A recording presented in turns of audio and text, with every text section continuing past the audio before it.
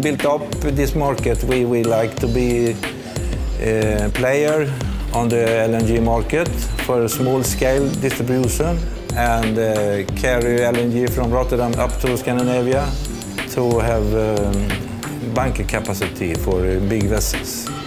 Especially for tankers, we, we, we, we uh, loading in the terminals and we cannot have this LNG from, from truck.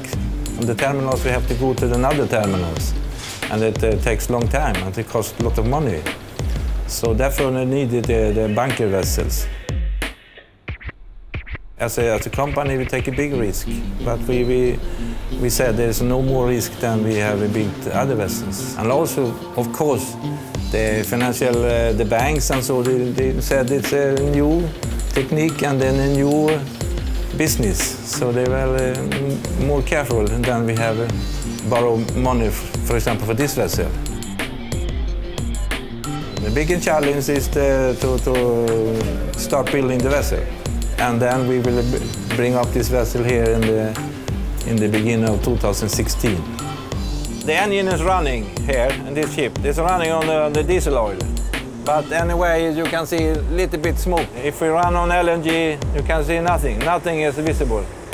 It's complete clear.